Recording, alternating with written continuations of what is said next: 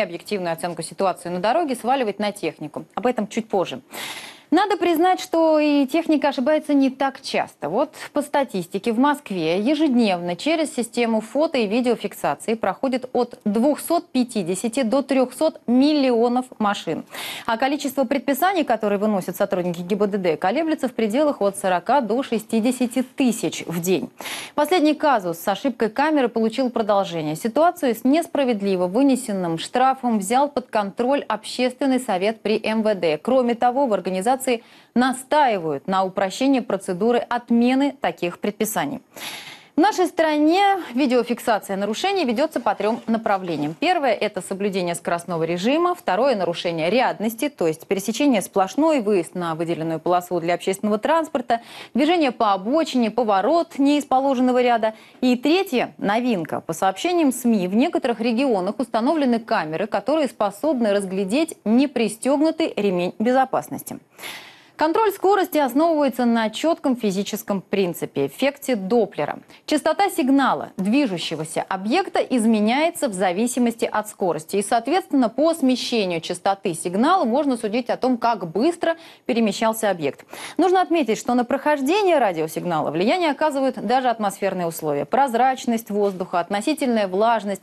Но в большей степени точность измерения зависит от размещения самой камеры. Существуют четкие требования к тому, как должна быть установлена аппаратура. Если условия не соблюдены, то и результат будет далек от истины. Примеров того, как камеры ошибались при определении скорости автомобиля, достаточно. Вот самые яркие. Этот Ford Focus в городе Орел, если верить системе видеофиксации, не ехал, а, видимо, низко летел. Скорость на бланке штрафа больше, чем у самолета. 1418 км в час.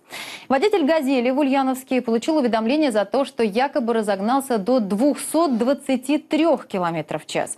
И напомню о том, как владельцу иномарки из Татарстана пришел штраф за то, что он превысил превысил скорость на 22 км в час. Компьютер точно зафиксировал цифру, но техника не учла, что автомобиль в момент нарушения находился на эвакуаторе. Контроль рядности осуществляется по другому принципу, с помощью телевизионных камер. По контрасту между объектом и фоном программный комплекс устройства определяет геометрические размеры движущегося объекта. А дальше автоматика соотносит положение автомобиля с разметкой на дороге. Многое зависит от качества аппаратуры. Посмотрите, ведь и у нас на графике последняя машина практически сливается с фоном. А если изменится освещенность, судите сами. И еще, если порог контрастности очень широкий, то и тени, и блики будут и вовсе восприниматься системой как часть автомобиля. И водитель может получить штраф за то, что якобы ехал по обочине. Послушаем эксперта. Контроль пристегнутого ремня безопасности, направление, повторю, достаточно новое. Большинство камер, которые способны фиксировать это нарушение, работают в тестовом режиме.